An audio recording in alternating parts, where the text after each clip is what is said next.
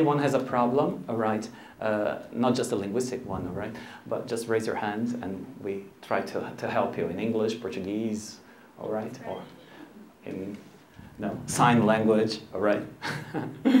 we'll do it. So, uh, very nice to be here with you this afternoon in this month of January, in the middle of the holidays for some of us. No, um, and to be sharing with you some information, and so as we can have uh, a good year ahead of us. No, we're beginning the 2016, and full of hope. No, as usual, and we do have a very challenging year ahead of us. No, just turn on TV, open the papers, and uh, you know, the buzz buzz in Brazil. And so, where do we stand? Know? How can we get the best out of a not such a good situation? Know? So that's what we'll be talking now in this afternoon. Know? And uh, the title of the presentation I put is, You can learn a foreign language at home. And by home, I mean uh, not just your house. at home, I mean our country in Brazil. All right? Uh, yes. So, what is our scenario? Now, just before I, I say something about myself, all right, I just would like to give you a big picture. Now, first, we're going through lean times, no?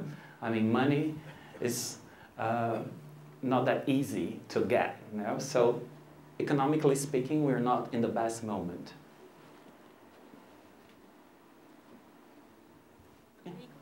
Yes. On the other hand, I'm sure if you uh, open any magazines, if you receive flyers, you know, uh, you will see this bunch of kids very happy, jumping, you know, uh, very happy, and they're planning to study English or any other language, but for our purpose, okay, we'll talk about English, to go abroad, study abroad, no? The golden dream, isn't it, to learn English abroad. And that's the image they sell of studying abroad. Always sunny and everyone happy. No? I mean, jumping in front of the school bus, there's no school bus, but usually there is that yellow school bus, you know, so typical in America. And I've never seen students jumping in front of a bus. Do you jump in front of a bus here when you go to school? No? Uh, uh, what happens if you keep jumping up and down in front of a bus? you know, uh, but that's the image, and that's what our students see, and that's what they want, isn't it? They don't want that boring classroom. No, I mean they want this, but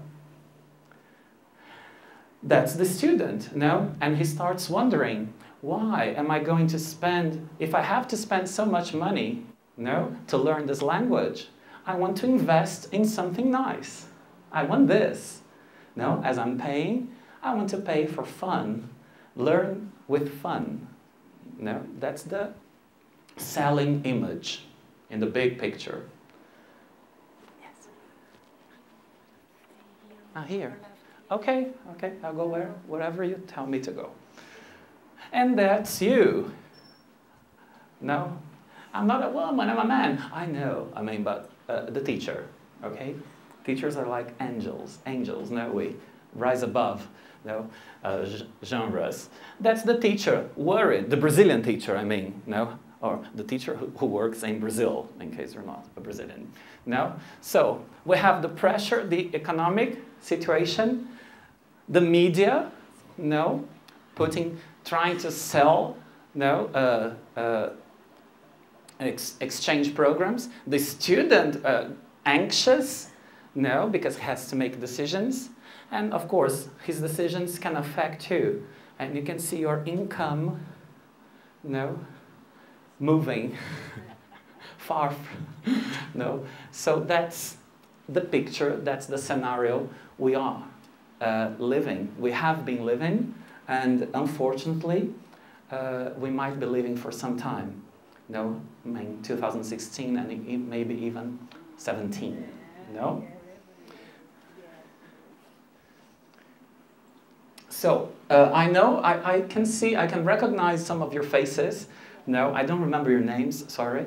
Uh, but as we have new friends, I just would like to give a very brief uh, introduction about myself. No, and in the sense, uh, I put here some logos. These are all institutions where I have been, you know, uh, in my in my life as a as a teacher because that's what I'm, I am.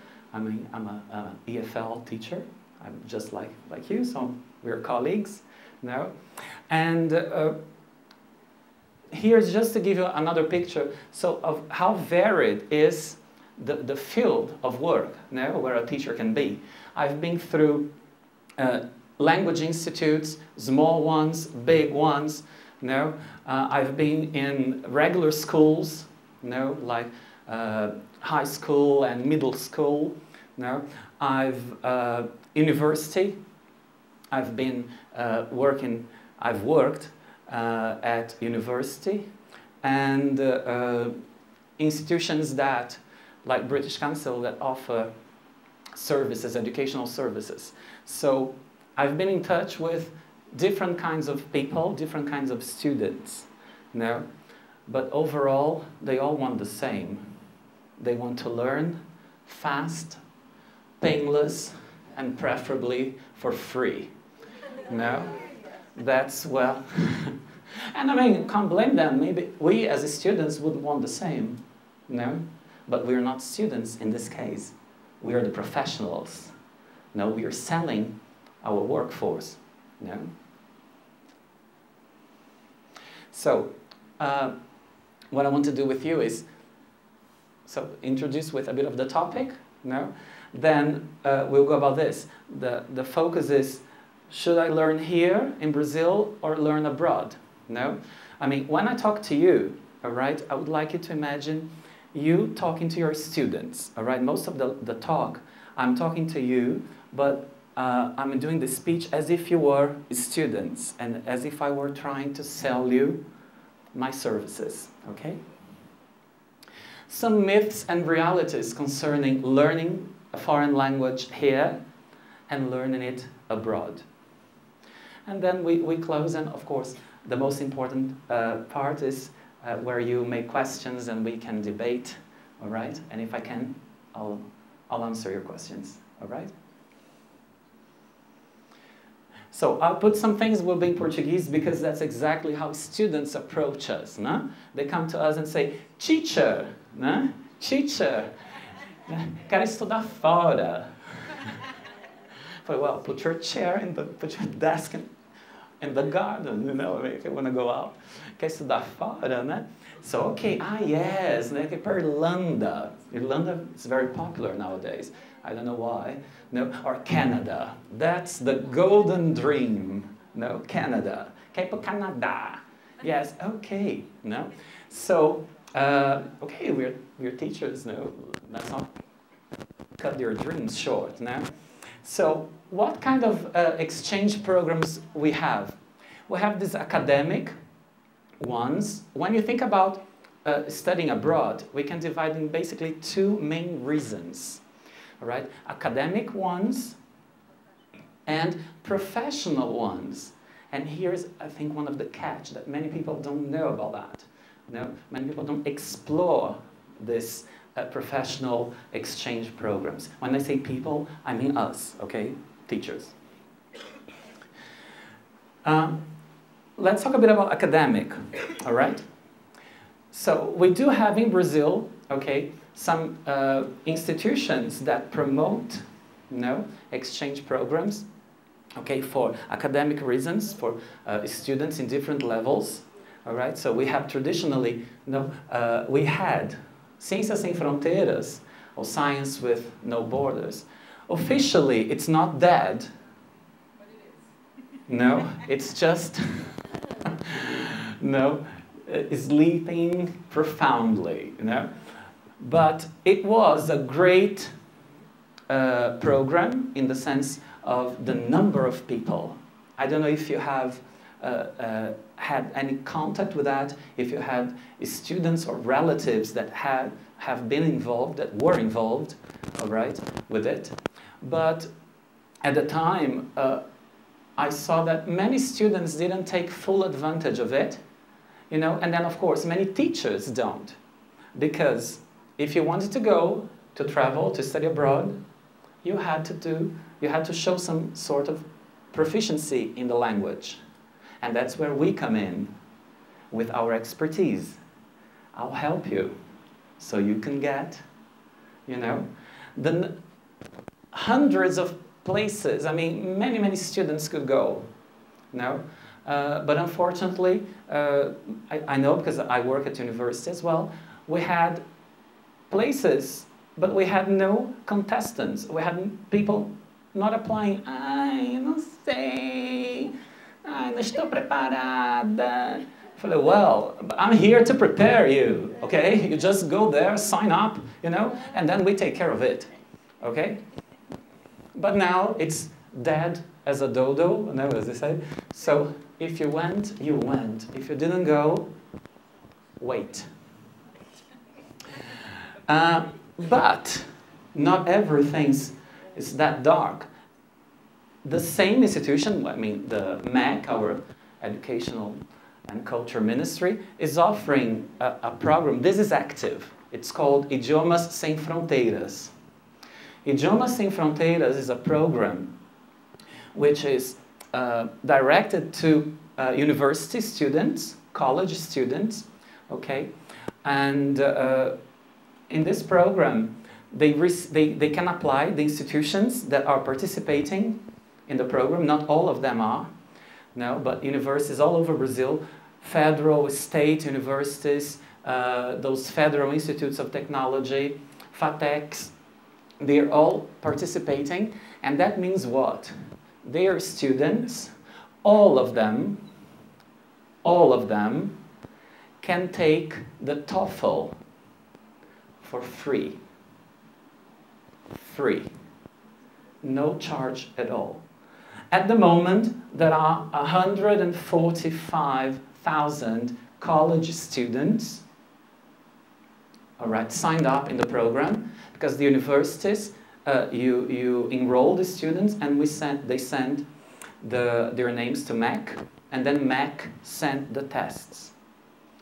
And so there's almost 150,000 students. Ah, Rodrigo, they can do the test once. Yes, they can do the test once, and if they don't do well, they can try it again, twice. Not happy, three times or thrice. Not happy yet, four times. And there are 18 students, 18 students in Brazil, okay, that have tried this test five times. they should try Spanish, no, because I mean, after five times. But I mean, what can we conclude from this? Who's paying for that? The government or us, no, indirectly. But I mean, there is money for this. You know, if the students go, try once, twice, you know, they can they, they just have to respect a, a, a, certain amount of time they have to wait like three or four months then they can reapply for free so what does how does that relate to you there is a market these people they're having the opportunity to take this certification the TOEFL ITP that means they may need because if they do the test once because they don't get classes, you know, they don't receive lessons. They receive the application to the test. You know, you don't pay anything. You can go there, sit and do it. But some of them have been coming to me, for instance, said, teacher, uh, can you give us some private lessons? Uh, can you set up a group? No, a prep course, you know? So uh, that's where we have an opportunity. All right, so uh, that's something for you to open your eyes. And uh, it's ongoing. 2016, it's confirmed. All right, it will continue. All right, so just be aware of that because that's somewhere you can benefit from. I mean, these university students uh, willing to, to pay for some classes so they can get a good grade in, in the TOEFL.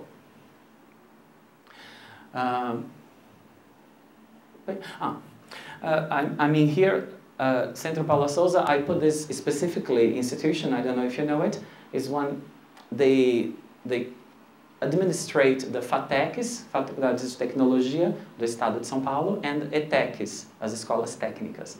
Now, I work at FATEC, I work for them, and we, we have this program, okay?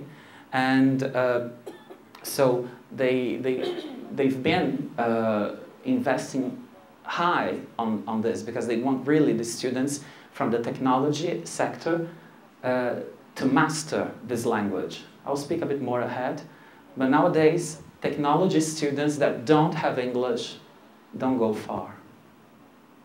All right? They don't. So they've been really, uh, uh, let's put it, they've been really open and supportive, you know, of English, you know. Uh, well, here I put CAPES and CNPq, which are other um, agencies you know, from the government, and they deal with post-graduation courses. And nowadays, basically, all of the universities, either in Brazil or abroad, request proficiency certification. So the students who want to take a master's or a doctorate degree, they must prove uh, linguistic proficiency. So that's also uh, a niche know, for us. And the British Council, which is an institution uh, all over Brazil. I, I, don't know if you are all from São Paulo, but they are present in all the states. And they apply the, uh, they organize the application of IELTS, which I'll, say, I'll mention a bit ahead, no, which is another certificate. And many people call. I, I, I work for them as well, you know, as, um, as an examiner. And many people call the British Council asking for uh, private teachers because they want to train for the exam. And they have a list at the British Council. They don't, uh, they don't sell private classes themselves. What they do have is a, a, a list, you know, a, a, database of teachers you know, who work with exams. So if you are interested, you can uh, be in touch with them, you know, send your uh, information, and they can put you on a list you know, uh, of private teachers. Okay.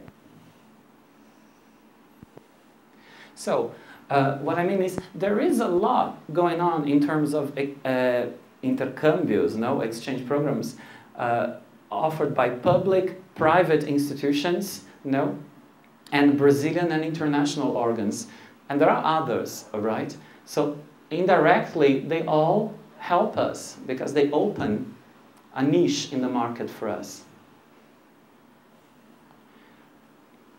Now, professionally, now, uh,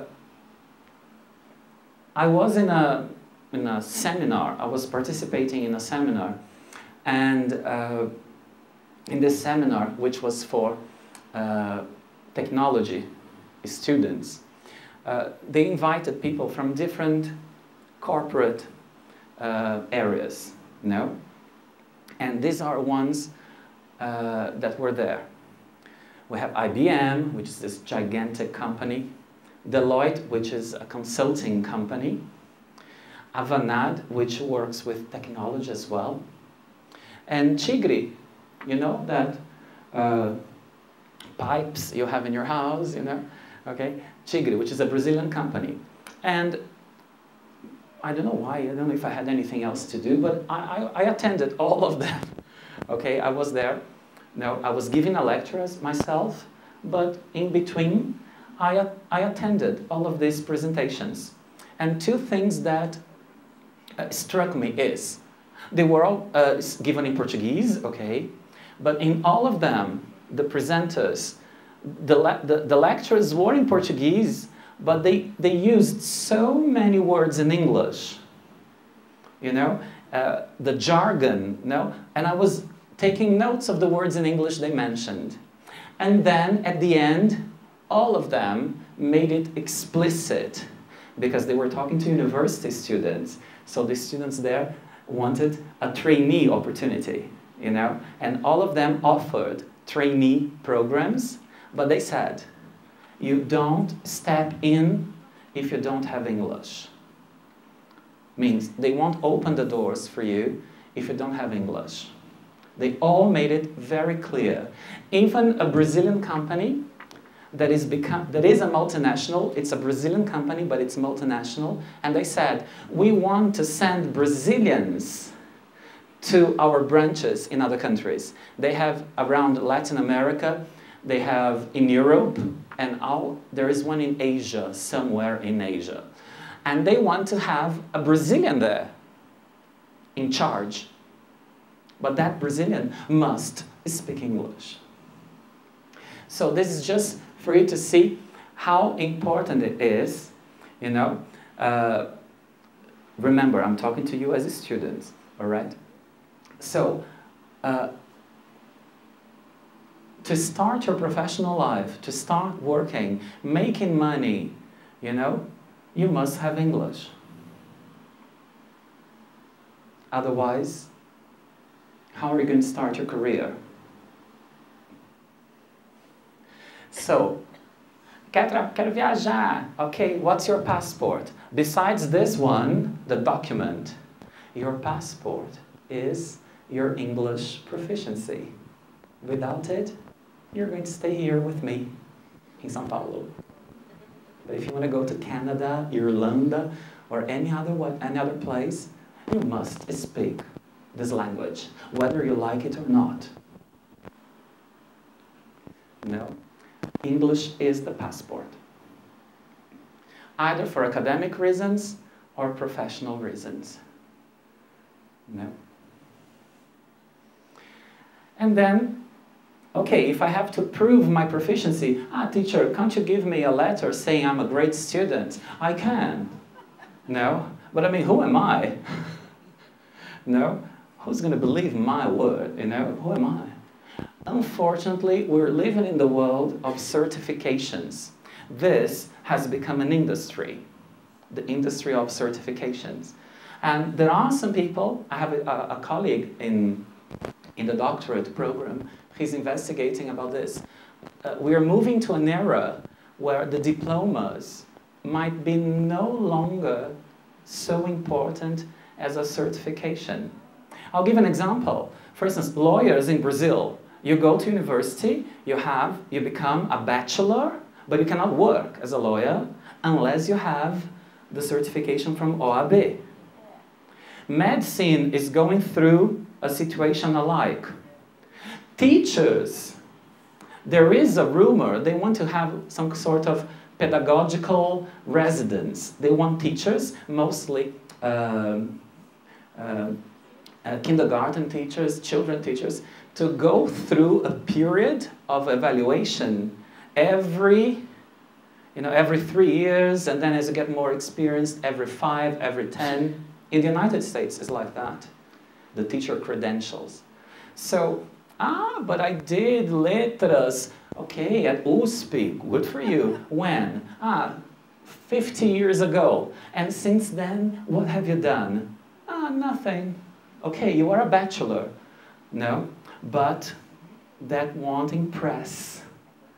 So they want the certifications. And no wonder they're not valid for good. All these certifications, they expire in a period of around two years. I don't know if you know that. All of them. Uh, these ones, yes. So, I mean, I have my Cambridge proficiency certificate, my CPE, you know? And when I tried my master's here in Brazil, they didn't take it they told me I have to do a new test. Then I went to a school, I won't say the name, here in São Paulo. I did a very, very, very a simple test. I said, is that what you want? My acceptance depends on that, on doing an English test? Uh, didn't you see my curriculum that I'm an English teacher?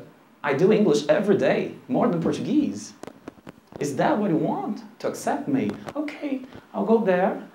I pay, and that's the catch, you have to pay. You pay 150, 200 reais, I mean, I don't know, depends on, on, on the year you pay there. Okay, and the same day, I got the certificate, express certificate. you know, I did the test a couple of hours, I received the certificate, I went back to the university, and I said, here, that's what you want. Okay, Okay, I completed la, she does, I do, they do, all right? And I got a certificate. My CP, all right? And the years of experience that I have, because I, I, I'm actively involved with the language. But that's the market. You know, the market wants. So, and of course, the industries is offering. So you have, you know, Cambridge, IELTS is from Cambridge, okay? An International English Language Testing Services. TOEFL, no, the American version, I think it's from Princeton, or Princeton is behind it. No, TOEFL and TOEIC. And I'm giving you just a few. There are, I believe, more than 20. Because you have certificates for business, certificates for doctors, certificates for engineers, certificates for lawyers, you know. There is an industry because you have to pay.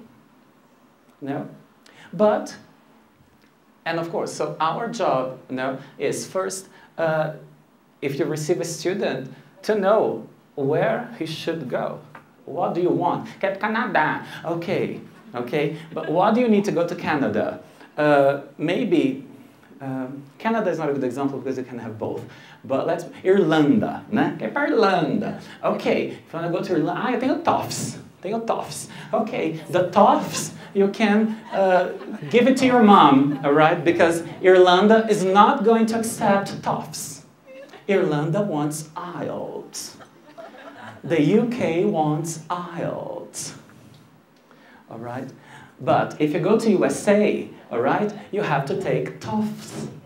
USA doesn't accept IELTS. Oh, but I do. I have the IELTS. Okay, just show it to the Queen of England. But to us, no. It's an industry and they're competing in the market.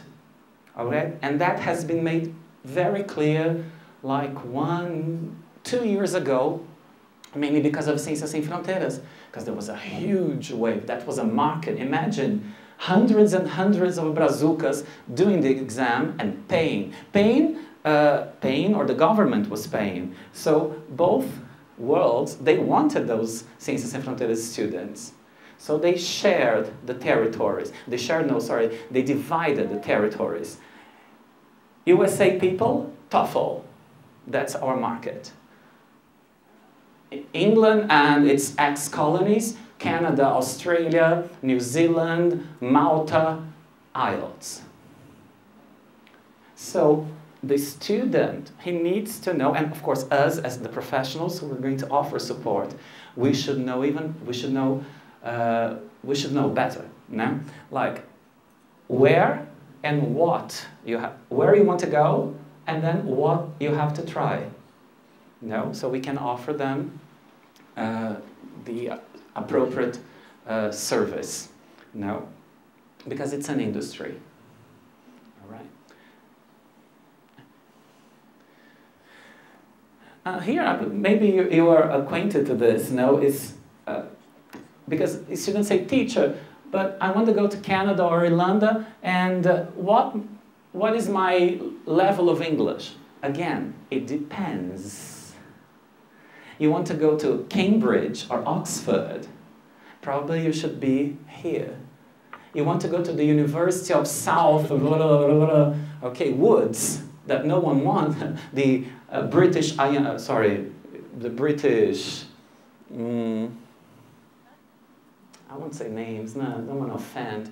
But you know, to a not uh, renowned school, your English can be here. So that's another information. You must know the requirements of the institution. Sometimes they require a very intermediate level of English.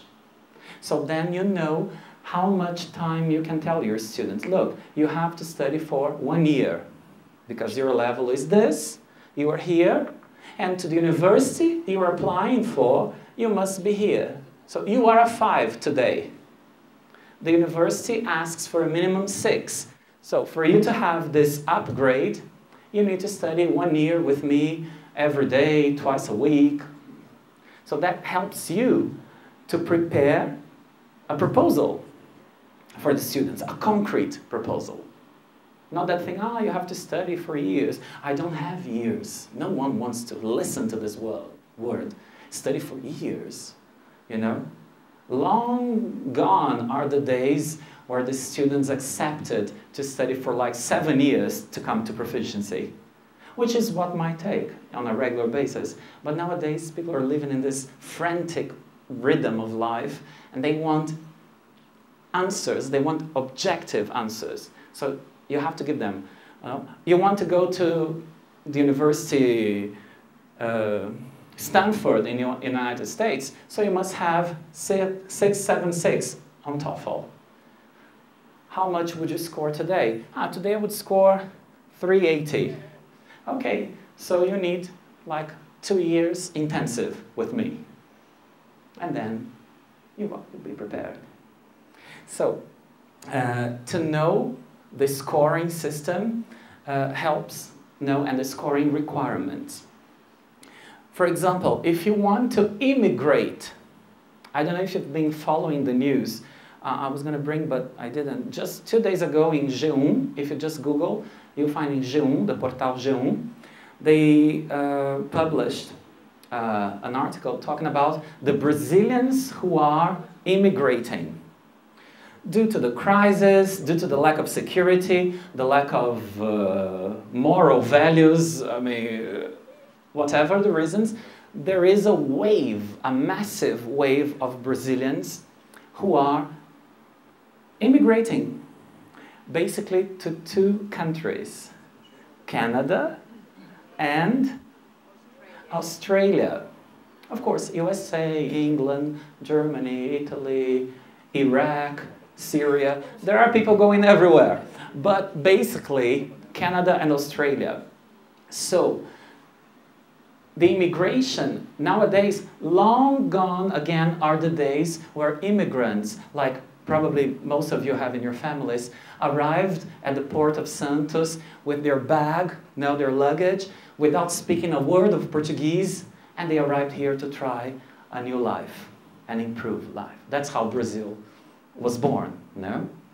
Uh, this no longer exists okay they want immigrants to arrive with language uh, proficiency as well, a certain level of proficiency. In Canada, English or French, depending on where you go.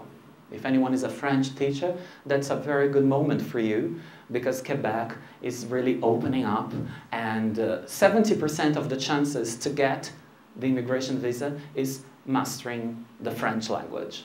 They really work hard in Quebec. I live there, so I can tell you. They really work hard on trying to uh, the population. They really uh, are very uh, attached to this. They really want the people to um, master French. So if you arrive there with the French language, 50% of chances of getting it. Um, UK uh, for instance, if you want to immigrate, you must be around a five. Let's put it like this. If you want to do a post-graduation, blah, blah, blah, it, usually higher. But for immigration, five. And if you're immigrating like a, a family, a couple, husband, wife, and kids, uh, one of them should be a five. The other can be lower, all right? Doesn't, it's not that both need to be uh, uh, proficient in the language. So again, if in case you have some a student looking for that, you should make these questions, you know. Uh, you want to, to, to go to, to do what? To study, to live? Are you moving alone? Are you moving with family? This can all affect uh, uh, your uh, teaching. As a matter of fact, there is even a new, a new exam uh, for couples, you know, the husband or the wife, and they want to test. Uh, are you familiar with that scale, the Common European Framework? A1, A2, B1, B2, C1, C2. So, yeah, uh, it goes like this. A is the lower and C is the top. A1 would be our basic level students, no? they can spell their name. Hello, how are you? My name is Rodrigo. I am from Brazil. I am a teacher and I love Corinthians. Okay, this is basically A1. There is an exam for A1. In the case of a couple, okay, a husband, wife, a couple who's immigrating, if one, one of them must be a five, the other has to do a test. You, but I don't speak English. You have to do it, even if it is to prove that you are a one. That's the test, believe me. I've been there. I've, I, have i have done the training. It, it, it was an offense, a moral offense. Why am I going to make a human being go through that humiliation? Because I'm sure you've been, in, as teachers, no, sometimes you want to talk to a student and you see, you say, what's your name? Uh, how old are you? Uh, poor people, they don't know. Why are you going to make that, sometimes, why are you going to make them go through that? Because you have to pay, besides being humiliated. You're paying for that. That's a business. It's called IELTS Life Skills, I believe. That's the name of, of it. Life Skills. And there's another one for UK specifically, not Canada or Australia. For UK, uh, for UK, so if you have a student who wants to go to England, he's going to do IELTS, okay, but his IELTS is, uh, the interview is videotaped, just like we are being now, or I am being now, all right? It's no longer just recorded, because interviews are recorded, but this one is videotaped and it costs a bit more.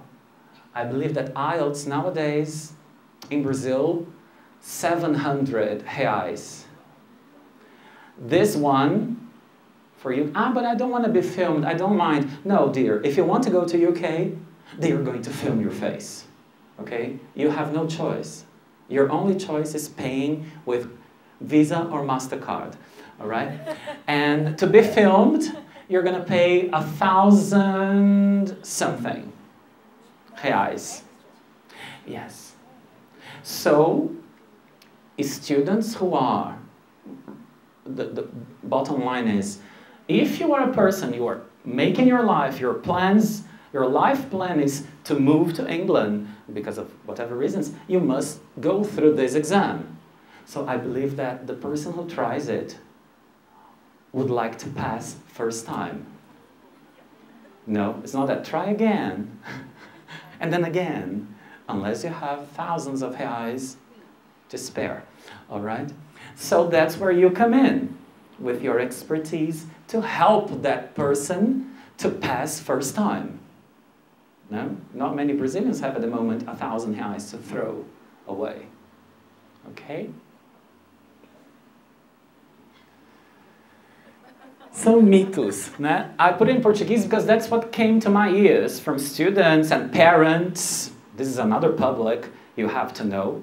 You know, the parents, if you uh, teach children and adolescents, they're indirectly uh, your public. The public are the parents. Know, you have to cater for their, the mommy and daddy. You know? Ah, para aprender inglês preciso ir para fora. And I heard that myself when I was doing my master's, defending my master's degree. No, uh, one of the ladies, okay, she said, uh, she said that.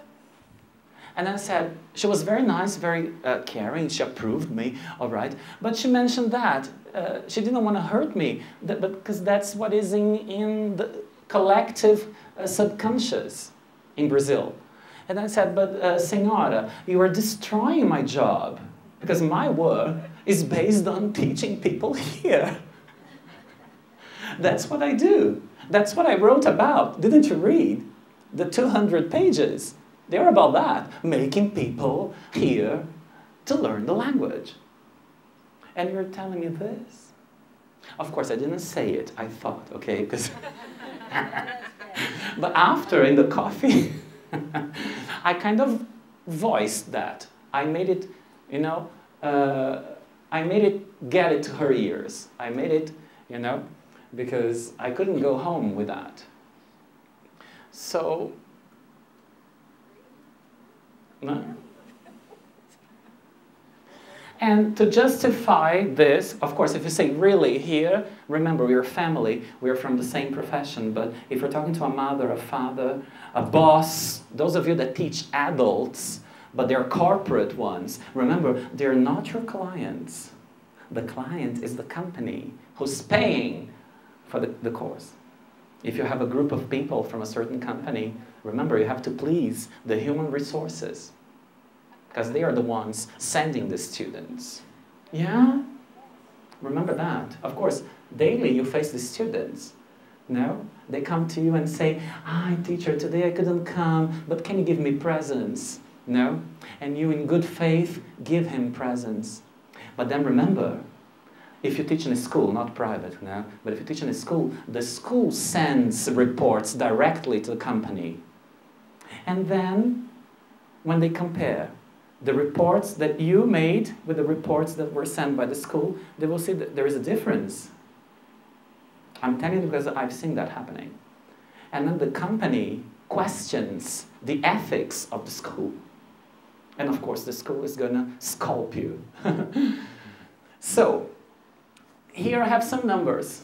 And here, sorry people, I like you, but they told me to be here, right? So, I like you as much as. Um, here I have some numbers. No? Let's see. Which number is this? Good. Oh. Ooh. Now this is more A2 level. Oh. Uh. I don't know what I'm talking about. You are talking, I'm just listening. okay. Let's see, what do you think these numbers stand for? Why did I put them here? To check your knowledge of numbers. well, with the students I would. they are. They are related to my life and, of course, to what we've been talking about. No? Uh, the first myth that you need to learn. Uh, what was the first myth? Uh, eu preciso ir para fora para aprender inglês, something like that. Okay. Ah. Ah, uh, well, maybe, but that's not what I was thinking about. but maybe you have a point. You do have. Um, let me see. Okay. No. Nine. Okay is the number of times that I have been abroad studying, doing a exchange program, uh, intercambio, blah, blah. Six are the number of countries I've been to. And two, keep this two for a while. 1996 is a date all right? That's the first time I traveled. And 2011 was the last time. Unfortunately, it could be 2015, but I had problems last year. Hopefully, if we meet again next year, there will be a six here. No. Why am I showing you this? And why? Uh, remember, I'm talking to you as students, all right? I don't go bragging about this. That's not the motive. The thing is, this was the first time I set foot in an English speaking country. But by this year, I was already graduated, I was already a teacher, all right? And I paid for my trip as a teacher. So, how could I have become a teacher before traveling? According to the myth, that wouldn't be possible. So, that's what I tell students. I worked, I saved, I traveled. Okay?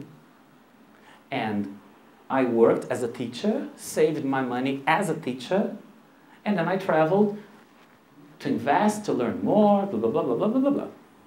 Okay?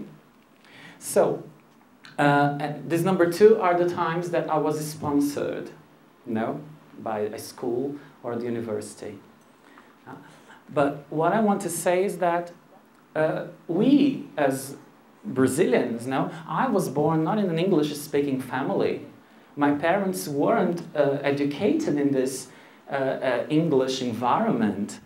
For them, English and Chinese are the same. You know, my father was Brazilian. He barely spoke Portuguese. You know, English for him was for another life. He used to say. You know, so uh, I learned here, going to school, and with hours of because I liked, like you, I read, I studied. You know, uh, so we are living proofs that myth number one is a myth all right? However, it's much easy or easier for the students to place the responsibility of his learning on a trip, on something that is far, sometimes imaginary even, because they will never. I mean, I work, I teach in a public school, and the passport, the document, you know, when I ask them, because they say, I'm going to Canada, okay, do you have passport? 50 students, only three have passport. It's not part of their routine. You know, they, if I were in a private school, probably three wouldn't have passport. You know, so it's much easier to place the achievement, the success of learning a language into something that you know that will, won't happen easily or quickly or soon you know? So the reason of your failure is because, ah, because I couldn't travel. Well, neither could I. Or you don't, you don't learn English because you won't uh, need it for your future job. Yeah, what's your name? Sometimes they say this too. Juliana. Juliana, you're right. Although this speech was much stronger uh, in the past. Nowadays, there, there is a pressure, you know. But then that's what I told them. Uh, once you get a job in one of these multinational companies, these big companies, nowadays they are very globalized. And they send even trainees.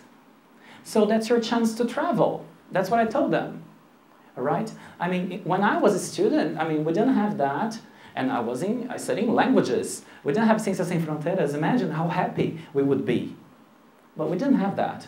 So I had to start my professional life. I had to start making money so I could save it and buy, all right, whatever I wanted, be it a shirt, a car, or a trip. Okay? But nowadays, you have more opportunities. The companies are, the mobility is really huge in the corporate world. What you have to do is to set your foot in. All right? How can you do that? with some level of English. You start here in Brazil as a trainee. Maybe in one year, they're sending you abroad. And then you have your international experience. You see? Number two, lá fora o curso é melhor. this one. Again, as I told you, I've been nine times. The nine times as a student in different areas, studying English, studying methodology as a teacher, in language institutes, in universities, but uh, of course I'm speaking for myself, but I collected evidence with the people that were around me, you know. I asked them, are you enjoying the course? Uh, no. And the course, I'm talking about the course, okay? I'm not talking about the life that you have, that you experience. I'm not talking about that. I'm not talking about the classroom, okay? The chair, the desks, the board, the teacher, and the students. The classroom environment. To be honest with you, I didn't see anything that we don't do here. Methodologically speaking, we are as good as, or even better I would say. I would say we are. Okay? Because of some reasons. It's not because we are born but It's not like that. Okay? There is a reason for this. So, but this is if it's useless if you speak like that to a student. I'm speaking to you because you are involved. But a student wouldn't understand that. He wouldn't process this information. He would say blah, blah, blah, blue, blue, blue. All right? So ask force the, the student or the parent or the boss to reflect. Can the teacher there, Canada, Irlanda, uh, Timbuktu, understand the linguistic reasons of your mistakes? Can the teacher there really know why you don't say there is, but you say have? Can he understand exactly why you don't say watched, but you say watch it? Can they really get to the bottom of the impediments that you have? Just ask. Uh, will you not have any fellow countrymen like Brazilians near you in the classes? Brazilians, they are spread because of course they buy these products here in Brazil and they're sent to the same places.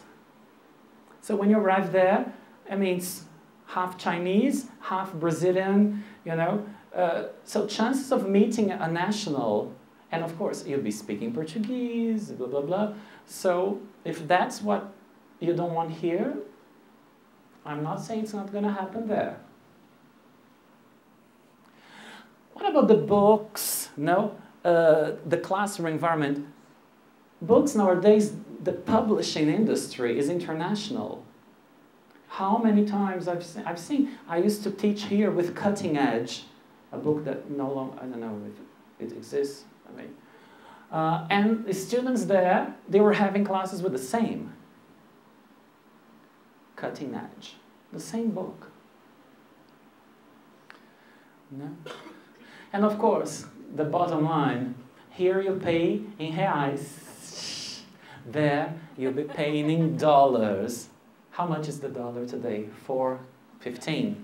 Euros, 4.60. Pounds, 12. you know? Uh, so you'll be paying that for cutting edge. And here you'll be paying for cutting edge. Yes? I think when they go uh, abroad,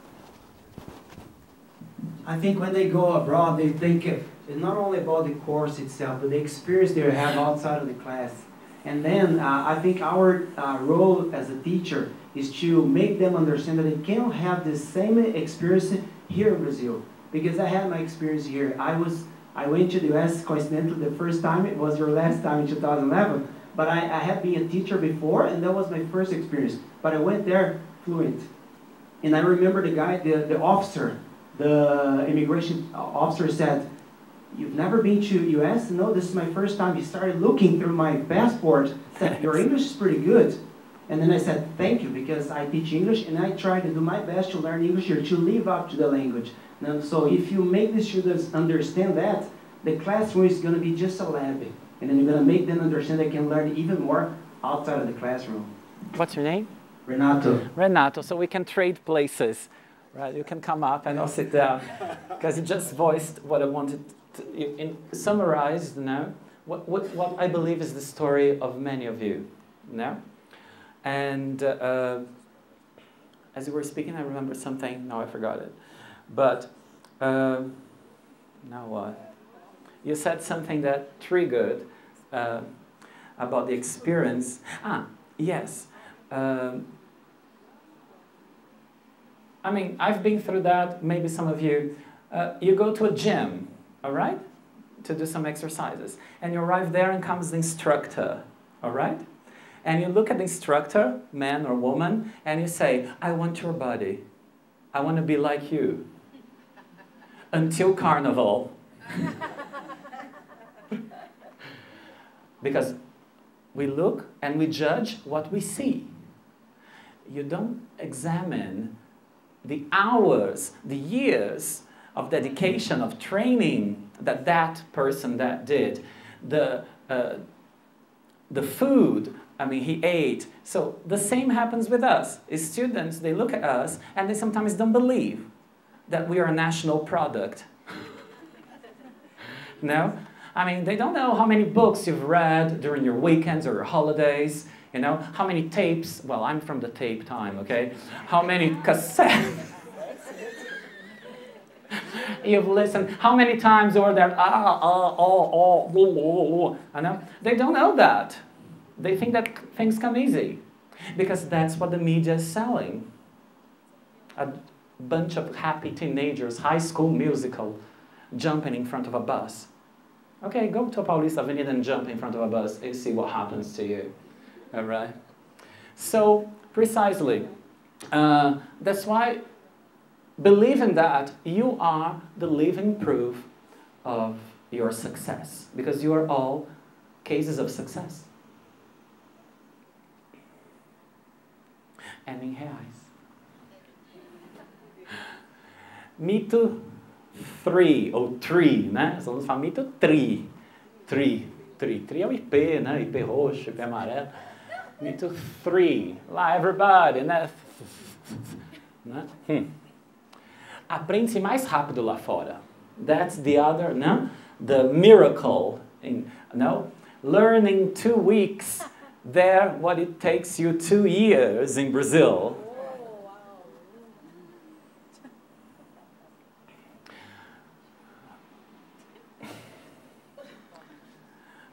Well, my stronger argument to this, okay, I could give the speech that you all know.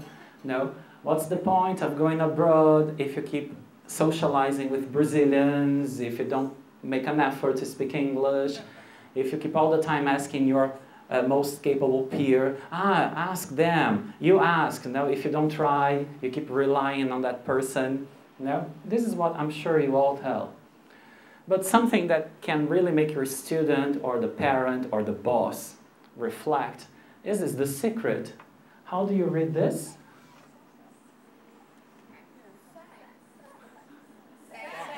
Ooh, very good. So that's what you can tell your seven year old child. Okay? You want to learn fast? Sex. Sex, Rodrigo? Yes, but it's not what some of you might be thinking. No, sex stands for two things.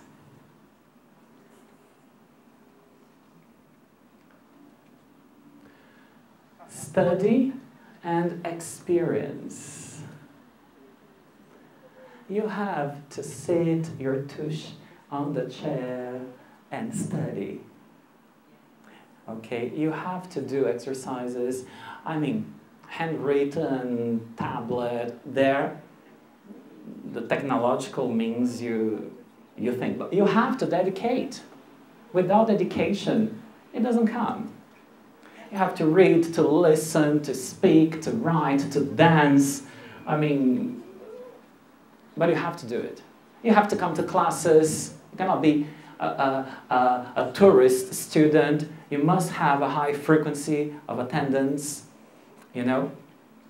You must know what's going on. You have to manage your course. That's what I tell to the older students, you know? You have to know what's going on in this level.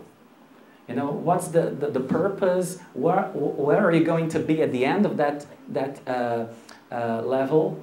No? So you have to know what's going on. That's your responsibility. All right? Now, uh, uh for the student, okay, you have to know.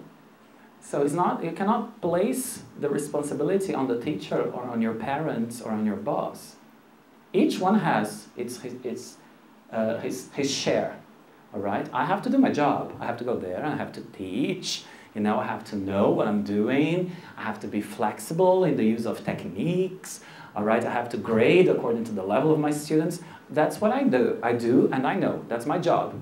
Your job is to be a student. All right? And that's what is not said, is not verbalized, because that scares people away, isn't it? No? But that's the secret. There is no other way. There are many ways of studying, pleasurable ways. We can go out and have coffee or have a beer on a, hot day and we can do English and you can learn, of course you can. But I mean, students, you, you cannot be in every student's homes, you cannot know. So the classroom is where we try, for those of us who teach groups now, is where we try to bring life into that environment. And they must be aware of that. Even in private uh, classes, I know that some people are teaching private lessons in pubs. I mean, no, there's a little thing going on, which is nice. But that doesn't uh, mean the student shouldn't focus on what's going on, you know, on the language itself, right? Of course. Uh, no, just, and experience, basically there is a, an element of time, know? Nowadays there is this pressure that comes from I have to learn, I have to learn, I'll be promoted in two months and I have to be, you know, I'm a two and I have to be a seven in English in two months. Uh, well, uh, I'm sorry, won't happen. No, you cannot promise something like that because then you're putting yourself uh, at risk. You know, you say, this doesn't happen. Okay? It's the same thing, no? Like if you're sick, no? I like this example. Uh, and we go to the doctor, isn't it? And I'm sure you've been through that situation or you know someone that goes to the doctor and you like to tell the doctor what to do. No? Oh, I need that. I need a recipe for that medicine. You know, how many of us haven't done that? Or, or have someone in the family who's done that, isn't it? And sometimes I have a cold, but you don't have a cold, you have a pneumonia. The treatment for pneumonia is different from the treatment for a simple flu. The pneumonia treatment takes more time, takes more pills, you know. You can be treated for a flu, having a pneumonia. Next time, I'll meet you at the cemetery. The cemetery is full of people that didn't take medicine. You get in the analogy. You know, students want, wants, is not necessarily a student needs, isn't it? Unfortunately, we live in a world, in our educational system, all right, where we receive our students from. Talking about the schools, the regular schools, the universities, where nowadays uh, they kind of say what they want to do. I like this, I don't like that. Well, I'm sorry for you if you don't like it, but you have to do it, you know? So we come from a, a culture that is emphasizing a lot the rights and uh, playing down the, uh, the duties that we have. No? Okay, we work hard. I'm sure you are creative and you have tools to prepare dynamic lessons, all of this. But there is a moment where uh, truth has to be clear, has to be said. And if you don't do it, you can go to Canada, Ireland, you can go to Buckingham Palace and you will not learn English. If you don't put your back into it. No, that's the expression I want to use. You have to. And you, the student, not me. I cannot learn for you. I can teach you. I'm Tati. Tati. And, yeah, and I'm a Renato student. Ah. Uh, I have a, a, a friend. She she went to United States last year, and she she went to study. And when she returned back, she can speak with me in English. She couldn't. She couldn't. Yeah. she went to United States of what? Mexico. oh, Brazil is Estados Unidos do Brasil, you know? The official name of our country. Yes. They go and return, and you don't see any change. No? Yeah. No experience. No? Think, think Sure.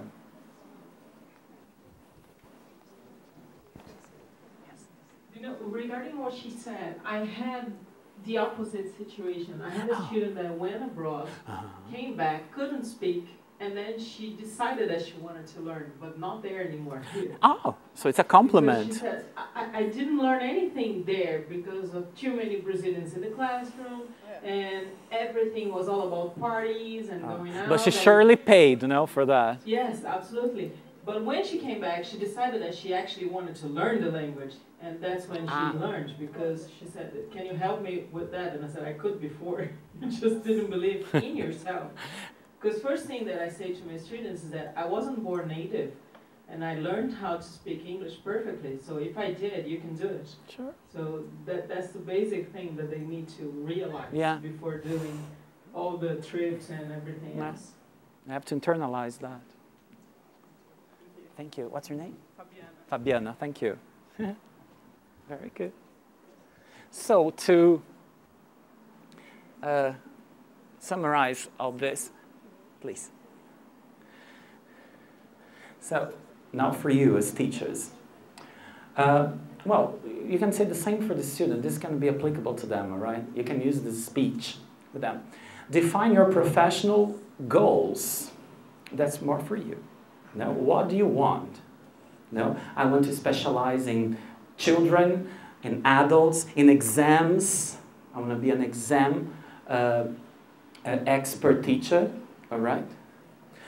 If so, get information about the certificates, the most common ones. Now, sometimes, even the uncommon, if you have a public, it- it may- maybe you're involved with uh, health uh, professionals, doctors, nurses, physiotherapists, they do have specific language uh, tests, you know, because to apply for masters in Brazil, and you know, health people, uh, health areas, they really have to study a lot. So major universities in Brazil require uh, English proficiency because they do read a lot. So if that's your case, get acquainted with which certificates are available, where can they take them, how much do they cost, and how can you prepare them for this. So then you can plan your business proposal. Um, and then, of course, not all of us are into exams as professionals, no? And the students, they may have uh, weak points. Maybe they're good at speaking, but they're not good at writing. We're having, we're receiving this new generation, the youngsters. They're very fluent. They, they speak a lot, but they write poorly. But most of the certificates, and some of them don't even have oral component. TOEFL ITP doesn't have oral. TOEIC doesn't have oral. So maybe he's applying for a, a master's in medicine and he needs to read and interpret. Speaking won't be tested at that moment, at least. So check, no, uh, uh, what are the weak and the strong points. Uh, you should have a standard speech prepared, as, I, as I've been reinforcing it, no? So you can use it, no, to your client, clientele. No, uh, and then of course you adapt it according to the linguistic, uh, to the student profile. Linguistic requirements, is it a higher level, a lower level, a student? Professional, I mean, is it a student who wants just, uh, wants just, no, who wants to take uh, Ciências Sem Fronteiras? Is it a graduated who wants to be promoted? You know, is he applying for a master's here in Brazil or abroad? You know, uh, is he immigrating alone with the family? To which country? No. And financial requirements, no? I mean, uh, there are the, the, the exams, they, they really vary a lot in prices. You have exams that cost 150 reais and exams that cost, as I told you, a thousand. And even institutions, for, maybe in Brazil, big universities like USP, for instance, they say in the list of the documents, they say Cambridge. Tá. Cambridge, you have flyers, movers for children, KET, pet, back, back, back. So which Cambridge exam are we talking about? So sometimes not even the institution knows. All right? So, uh, and sometimes I, I had a student, he, he was trying a master's, and they, they accepted TOEFL, TOEFL, TOEIC, and the certificate that is issued by SENAC. And TOEFL, 500 reais at the time, and the SENAC was 100. And then he went to SENAC and he took it. The institution accepted both. So that, that will be a very strong issue these days, no, of uh, economic uh, crisis. No? You want the student to spend the money with you, paying for your classes. You know, the 400 reais that my student saved, you know, he could pay for the lessons. So,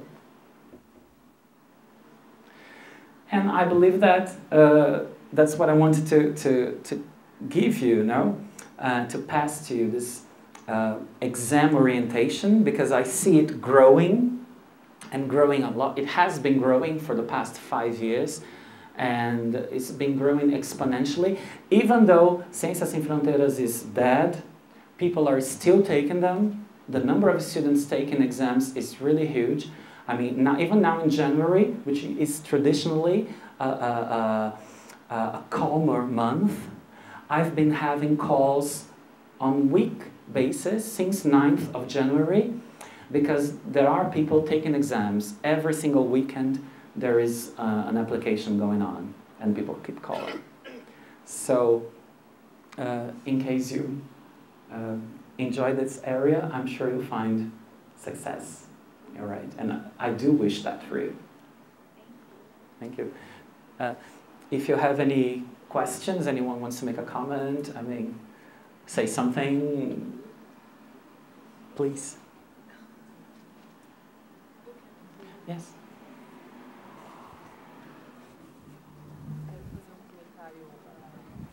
do seu workshop que foi a primeira Francisco. Eu gostei muito do primeiro e gostei muito do segundo. Um, I teach in companies, eu dou aulas em empresas. Uh -huh. Eu acho, uh, na minha opinião, que as pessoas uh, que fazem aulas em empresas, que têm aulas em empresas, enfim, eu não acho, na minha opinião, as pessoas sabem falar inglês, Uhum. né?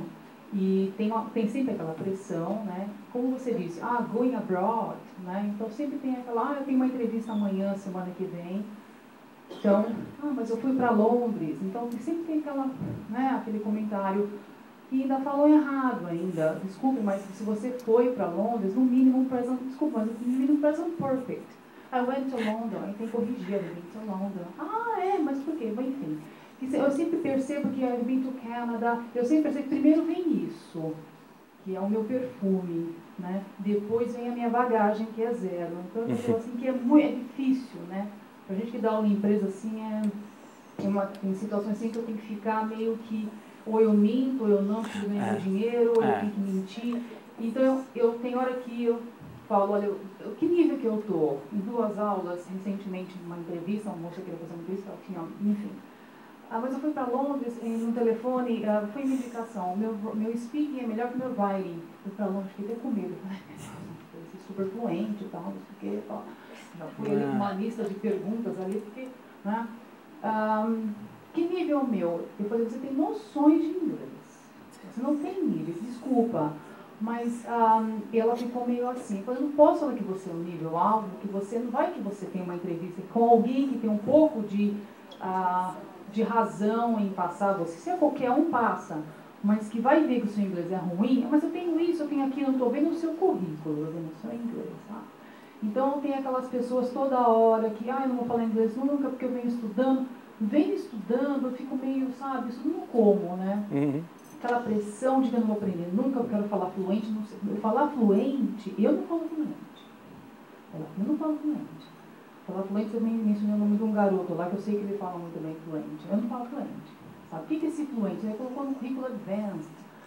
Ainda, ainda falei, eu penso assim, meu Deus do céu, né? Então, Ah. sabe aquela, aquela coisa de, dessa empresa que não, não seria o seu caso de ir para fora, que sempre tem aquela coisa que você já mencionou, ficou um mês no Canadá, saiu daqui falando there is an, aí voltou falando have de novo. Então acho que não deu certo do Canadá. É legal, puxa, nossa, outro mundo. Qual é o seu nome? Débora. Débora. Mas daí Fazer um acho que comentário. se tivesse um workshop sobre pessoas de empresa mesmo, povo de empresa mesmo. Ah, que é, povo de empresa é bom. Difícil. Dá uma tese, né? Very good. Uh, Deborah, I'll, I'll reply in English, all right? Uh, she said something interesting about the curriculum. No?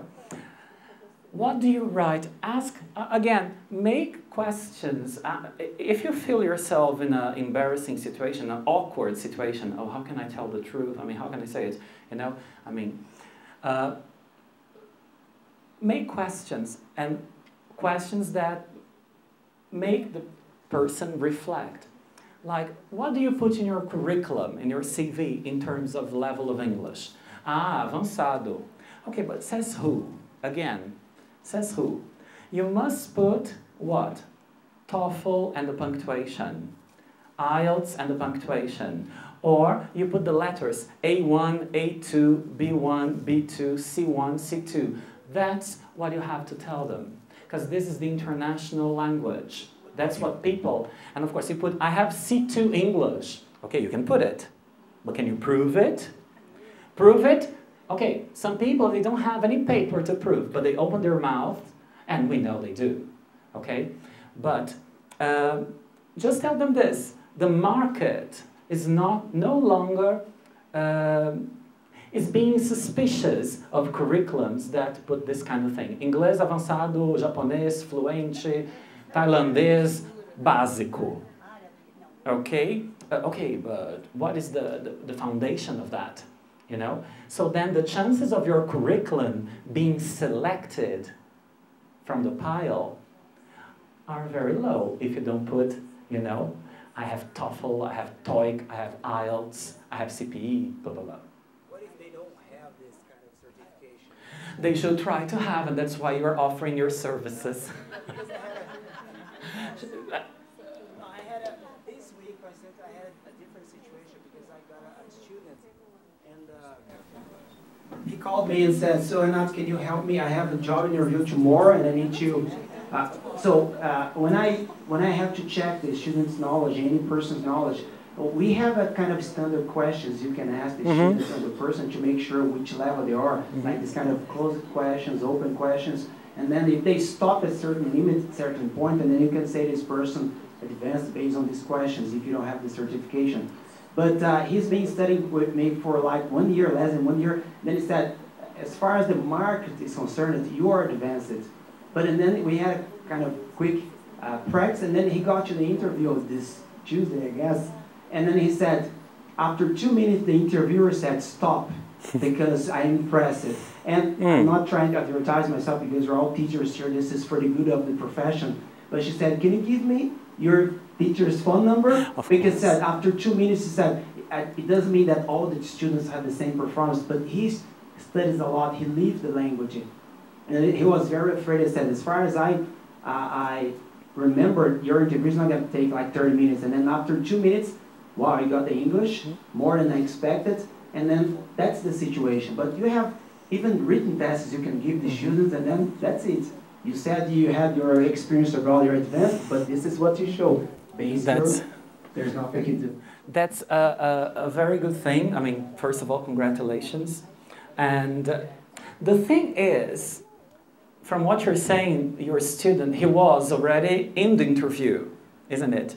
So somehow he made it through the curriculum selection phase, you know? And that might be the issue. Some people don't even make it to the interview phase. Because of, sometimes the curriculum is badly written. It's, it's not just because of English. Huh? Sometimes the curriculum. Then we go into other areas. Okay, Um layout, Portuguese. If the, the curriculum is in Portuguese, isn't it? The curri- curriculum is not even selected. And some companies they, they voice that if they don't see uh, a mention there of a certain international certification, they because they receive what thousands of curriculums for a couple of places so they don't they cannot get to know all the people maybe if they could in the interview they would completely change their minds. But to make it to the interview, you have to go through the curriculum analysis phase. So that's what I'm saying, that it does make a difference, all right, having uh, this uh, uh, the certification, the certification that uh, proves your uh, level of English, level of proficiency. No? Vai, Fabian. Anyone else has a question or a contribution? Just a closing thought. Sure. I, I even think that some people put on in their curriculum uh, fluent English. Hey. Maybe I don't have, but I'll put. Maybe they will call me. I remember once the director told me I received lots of uh, CVs here, and then they put fluent English, and then I get the chance to interview. They have just intermediate, intermediate English because they want to be selected, and they say maybe it's my English is enough for the op- opening, and then I'll, I'll try to put fluent. Fluent is a very open. How do you define fluent? English? Fluent, you can be fluent at A1 level. If you can count from 1 to 10 and sing the alphabet song and say and, and ask for a burger at McDonald's, all right, uh, you are fluent. Fluent is not the word. No, because you can be fluent at a very low level. Um, I, I mean, I wouldn't be able to speak even in, in Portuguese about, for instance, cooking. I, I can't cook, you know. I like to eat, but I can't cook. So don't come to me and say about those uh, actions that take place in the kitchen. For me, the kitchen is a twilight zone. you know. I just go into when they say, jantar tá pronto. Then I go. All right. So I can't. The same goes for mechanics. You know, car mechanics. You know, I know how to drive. I sit and drive. You know. So, or for technology, I, don't know if anyone here is, a, is an expert in computers, but I mean, when my computer crashed, I just want it fixed. I don't want that speech. Oh, because you have a problem in the RAM, in the motherboard. I mean, uh, fix how much and how long does it take? All right? So I, I, I'm not fluent in that area. I cannot keep a conversation. The same goes for teaching, isn't it? No, I'm sure when you say that you, what you do, people say, ah. And then when you start talking about the, the routine, people go, "Ah, okay. No, because people are not involved in the area, so we are not fluent in all sections, sectors of life. All right? So fluent is really not a good word to put in a curriculum. Right?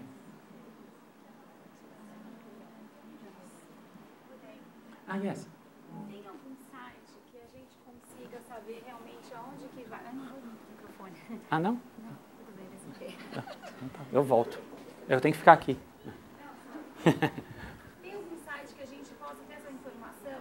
Qual é o melhor? Por exemplo, você falou, hoje me surpreendeu. Não sabia que Cambridge não é aceito na, em, nos Estados Unidos. Hum. Então, assim, aonde ser aceito? Quais são as empresas? Quais são- existe alguma onde a gente pode realmente provar para o aluno essa informação? É. Vamos, bem, vou te responder em português então. Para fazer a sua vida mais simples, é mais fácil se você tem um aluno que vem até você, ok? E ele vem com o discurso: ah, eu quero ir para o Canadá. Então, de novo, você fala: você quer ir para o Canadá para quê? Para onde no Canadá? Né? Para a parte francesa, para a parte é, anglo, né? para onde você quer ir? E você quer ir para quê? Você quer ir para morar? Você quer ir para estudar? Quer ir para estudar? É. Quer ir para qual universidade? Daí você faz ele entrar no site então, da universidade e a universidade tem. For para imigrar, tem o site do, do Immigration Board, não é? Ele entra, daí, entendeu? Você faz ele vir, entendeu? Com a informa- Claro, pede para imprimir, se for possível, né? E daí vem o, o. Porque senão você vai ficar louca, porque você vai dar aula para vários. Mas se você tem uma escola? Hum. Se você tem uma escola, você tem que optar por um deles. Ou você trabalha Ah. com Cambridge ou você trabalha com Top. E aí? E por que, que você tem que optar? Qual que foi o critério para você optar? O seu público, porque na hora que você vai fazer a opção, você fez, tá, você fez uma pesquisa com os estudantes, tá? E a maioria lá é pró-America. Então você já pode meio que deixar o IELTS de lado. Né? Ou então você vai pesquisar, né? vai no, na, na American Consulate, tem, o, tem o, a Câmara de Comércio, e eles têm. É. Ou British, o British Council vai te dar todas as informações. Entendeu? Então, essas agências de, de fomento, esses órgãos públicos dos países, eles têm, né? Eles aparentemente são neutros nesse sentido, né? A Cambridge acaba vendendo que, assim, é aceita no mundo todo, então isso não é verdade? É, para algumas coisas, não. Você pode até prestar o Cambridge nos Estados Unidos, mas se você quiser estudar na Inglaterra, entendeu? É, ou pode ser que tenha uma faculdade lá nos Estados Unidos que aceite o Cambridge, ou alguma na Inglaterra que aceite o TOEFL, ou universidades nos Estados Unidos que tenham um diploma próprio. Tem faculdade que tem a sua própria. É, eu estava lá em na São Francisco, eu tinha um colega né, tailandês, ele ia para Golden Gate University. Olha o naipe. Desculpa. E o inglês dele era awful. Não dá para entender. Não sabia se ele falava tailandês ou inglês. Sabe aquele, você está falando em que língua? Sabe quando você fica naquele impasse? E ele estudava lá, fazia jogos digitais, games, essas coisas super high-tech. Eu falei, eu, claro, perguntando, sempre pergunte. E você tem algum critério de inglês para entrar nessa Golden Gate? Qual que é o procedimento? É TOEFL? Ele não, eles aplicam uma prova própria. A prova própria deve ser o boleto. Pagou o boleto, né? Entrou. Seu inglês é ótimo. Então, então assim, resumindo, Se ele está feliz, né, resumindo, sim. como você disse que é um business, né? Uma máquina de fazer dinheiro. Yes. Então não existe um diploma, um certificado TOEFL que atinja Não. Nesse, eh, nessas certificações, não. Não? Não. Não, assim, claro, quem tem o CPE, alright, if you have a CPE, é claro, é um, you have a CPE, ok? You are a CPE, good for you. Mas pode pegar o CPE e moldura na parede, né? Eh, Tira uma foto, carrega ele no seu celular, alright? Mas para entrar nessa faculdade, não serve. Eles querem que você faça lá o, o Golden Gate Certification. Supõe-se que quem tem o CPE faça o Golden Gate Certification, né? Hands down, ok? Uh, mas essa é uma coisa interessante também, outro discurso, devia ter posto isso para vocês. Uh, as pessoas acham, porque elas têm um CPI, que elas podem fazer tudo. Conhecer a língua não significa ir bem num exame. É que nem o vestibular. Eles são cheios de technicalities, pegadinhas, timing. Você tem que fazer a redação em 20 minutos. Eu escrevo bem, mas não em 20 minutos. Em duas horas, talvez. Em dois dias. Alright? Sabe? Ah, entendeu? Eu falo bem, mas eu não sei falar de novo. Eles adoram aqueles textos sobre passarinho. Tudo bem, I love birds, mas eu não entendo muito bem de, desse, desse mundo aí. Eu não vou saber falar. Então, o exame é cheio de pegadinhas e é isso que a gente ensina para eles. Entendeu? Nesses prep courses, você não ensina language, ok? It's taken for granted, né? Você assume que a pessoa está vindo com um determinado nível. Num prep, você ensina techniques, exam techniques, alright? Se ele precisa de um, você fala assim, olha, vou prestar o exame mês que vem. Ok, então vou te dar exam techniques. Se você vê que o inglês dele está lá embaixo, você já fala, olha, exam techniques eu te ensino. Agora você precisaria, para você atingir essa nota que você precisa, você vai precisar de um ano de inglês, de language. E depois a gente volta a conversar sobre o exame. É que as pessoas têm muito, os mitos são muito fortes. A nossa luta é contra esses mitos. Eles detonam com a nossa carreira. Exatamente isso. A Cambridge vem TOEFL dura... TOEFL dura dois anos, a Cambridge não. A Cam- a Cambridge definitivo, mas exatamente Yes. qual a pergunta? O meu tá lá definitivamente useless. Porque meu CP, meu CP eu tirei em 1996. O que, que eu faço com ele? Mostro pra minha mãe. Ela infla. Nem sabe o que, é, né? O que, é isso? É um diploma. Ah, mais um! É um diploma. Mas É a mesma coisa que você está falando serve para o Celta? É mais universal? Não, o Cel- o Celta a prof- é prof- é professional, não é? Mas ele pode cair na mesma categoria que uma graduação, né? Você é formado em letras há 20 anos e não fez nada, não trabalhou na área. A pessoa, vai te, vai, a, pessoa que estiver te entrevistando, se você chegar no, na, na fase da interview, ela vai te questionar sobre isso, né? Se você tirou o seu Celta 20 anos atrás e não fez nada, ela vai te questionar o que, que você, você fez nesse tempo, né? Mas a princípio ele não tem, não tem oficialmente prazo de validade, como TOEFL, TOEIC e IELTS. Não. Ok? Ah, bem, quem quiser mais pergunta, eu respondo em off. Now we have to close. Thank you.